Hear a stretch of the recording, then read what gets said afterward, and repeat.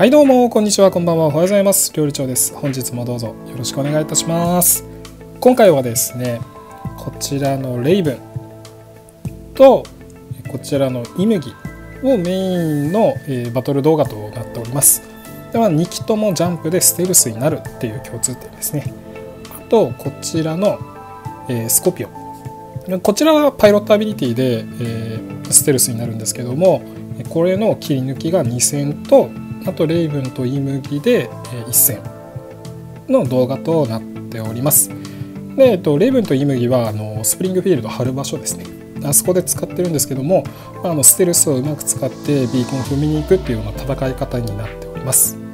では、えー、構成の方ご紹介します。こちらがサビ武器のジョーとクローのレイブ。ンモジュールの方がイミュアン2のヌクア1パイロットはこちらのレベル11のビーク。あドローンがこれですね。でパイロットがで前と、えー、構成変えてないんでちょっと爆発物エキスパートはちょっとついたまんまになっております。であとこちらのイメギですね。こちらのジョーとクローになっております。で今回はリペアン2の方にしております。前はイミアン2だったんですけども。でドローンの方がこちらも同じレベル11のピーク。でパイロットの方は、えー、マオリンでいい。ですかね。こちらの方ですね。構成こんな感じです。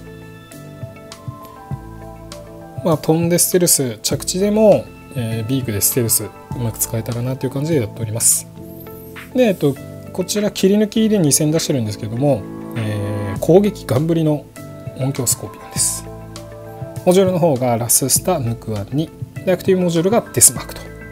さらにドローンはダルトキパイロットの方がこちらアッシュですね。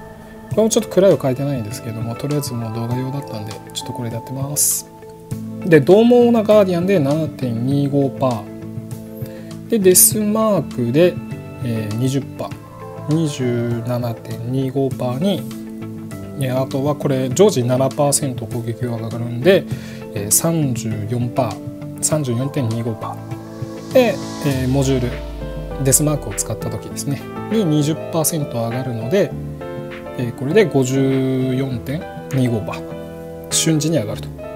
でもしアンプがたまればまあ125%マックスでいくっていうような感じになっております。先に、えっと、スコピオンの、えー、切り抜き2戦。その後にスプリングフィールドでレイブンとイムギとなっております。今回はあのタイタンとかネザーとかケプリも出てこないんで、まあ、この中央から左3機の動画となっておりますので皆様ごゆっくりご覧ください。どうぞ